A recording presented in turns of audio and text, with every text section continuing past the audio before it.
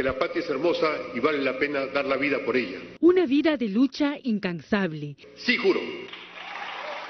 El excongresista, sociólogo, profesor universitario y militante de la izquierda peruana, Manuel Dabmer Eguaguirre, falleció víctima de la COVID-19 a los 72 años. El anuncio fue hecho por sus hijos, quienes días atrás dieron a conocer su delicado estado de salud. Lete Dadmer, como le llamaban sus amigos, inició su vida política en las aulas de la Universidad San Marcos.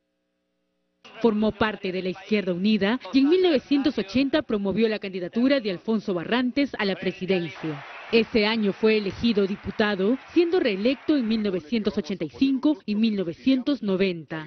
Luego se dedicó a la docencia universitaria, al trabajo con gremios, además de ser crítico y opositor a la dictadura de Alberto Fujimori. En el 2011 volvió a postular al Congreso y tras la muerte de Javier Descanseco en el 2013 ocupó una curul. Durante su campaña ofreció gas al alcance de todos.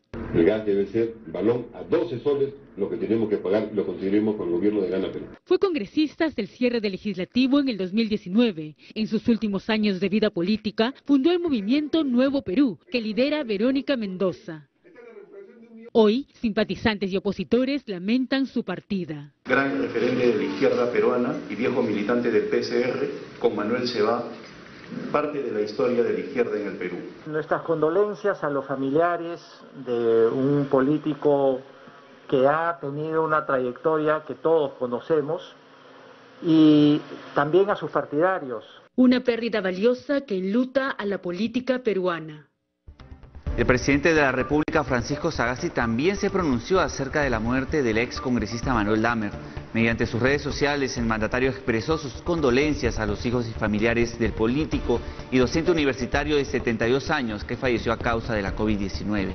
También señaló que su dedicación a la gestión pública son dignos de imitar y son una clara muestra de, de su interés, así como valía.